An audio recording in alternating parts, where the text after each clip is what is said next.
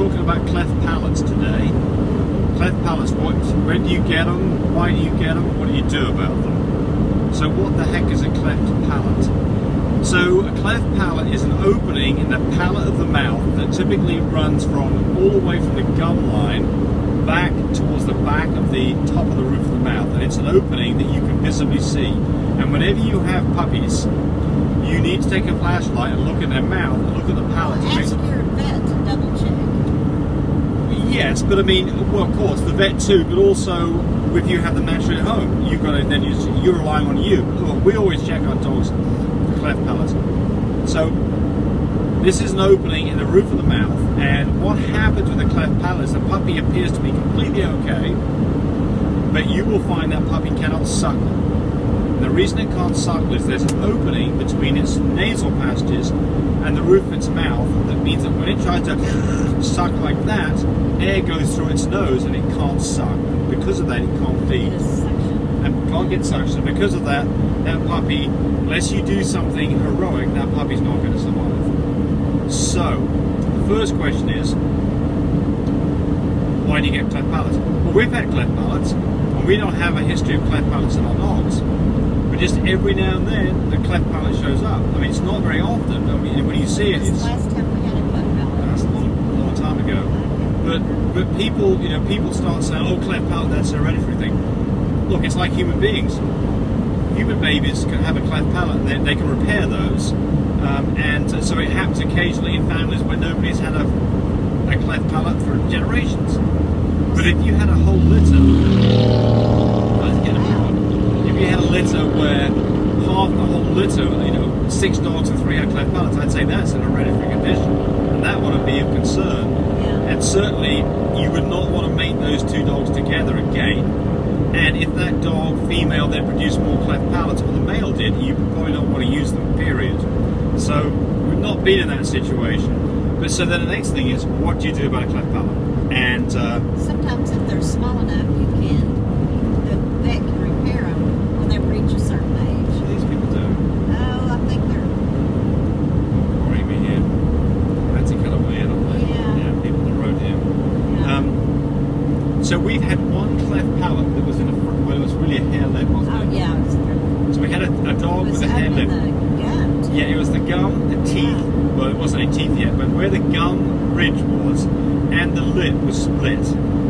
And they, that they repaired that. they did. That dog that dog went on to be absolutely fine. Yeah. But it did take surgery at about seven weeks old to fix it. Because you can't just sew it together. That's You- about, what, seven years ago? Yeah, quite, quite a long time ago. Between five and seven Yeah. years ago. So yeah. That dog, that dog completely survived the, the cleft palate. But we have had other dogs that have had a cleft all the way towards the back. And what you have to do with a cleft palate dog is you have to tube feed the dog. And I can tell you this, our success rate with the few cleft palates we've had, tube feeding them, has been a big fat freaking zero.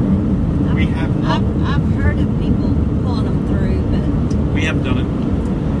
Got incubators and oxygen. And what's happened to those dogs is you tube feed them because you can't bottle feed. They well, can't back then we didn't have that. No, true. didn't have that. No, that's right. We've got a better equipped to handle it these days. We'll go about that. But but the, the thing here is you are going to have to tube feed the dog, and you're going to have to tube feed that dog every three hours to have a hope of making this dog survive. And what we've seen happen is those dogs don't grow grow very well. They tend to be small dogs. They continue to be small, and they finally get the sinus infection because they get food and stuff up into their sinus cavity. They then get a big bad infection, and we put antibiotics on board, they die. So if a vet says to you, this dog's got a really big cleft palate, and he says, do you want us to just kind of take care of it? I think unfortunately the right answer is you say to the vet, yeah, please do that. It's a heartbreaking thing, and I hate it when you, when you have to face this situation. But I think it's better off for everybody you probably do that. So other people are going to chime in on this and say what their experiences are. But our experiences have not been very good with cleft palates. Um, so, and I'm not saying that you should necessarily follow our advice and decide that that dog doesn't need to survive. But that's typically what the vet will tell you, and I think it, it probably is the right answer. But if you want to give it a shot and see what you can do, be prepared for some heartache. But I fully understand the person wanting to do the best they possibly can for the dog. So, just to reiterate, a hare lip, fixable. A cleft that goes all the way to the back of the roof of the mouth it has to be fixed much later on. You can't do surgery on a dog that's a few days old. You've got to put this dog under to do it, and you've got to be able to intubate the dog, and that's not happening. The dog is probably, and if there's any vets listening, they can chime in on it too. But I think the dog's got to be at least five months old before you've got the hope and hang of doing any kind of surgery on this. And, you know, that dog is then a marked dog at that point. It's going to be, sooner than that, but it gets fixed. You think it can be done sooner than that? Yeah, sooner Okay. than five months. Yeah. Well, Tammy's saying sooner. So there's some vets out there looking at this. You tell us what you think is. Or if you've had experience with it being fixed, let us know what you did because our experience with this has been not very good at all. So cleft palate's not a good deal. Is it? Is it? Is it the end of your of your dog ever breeding again? Probably not. Um, but certainly, if you bred two dogs and you've got cleft palate, I would not breed those two dogs together. Anyway, there we go. Two cents worth. Subscribe to us if you like it. Answer these questions for other people. That's great to go get information back.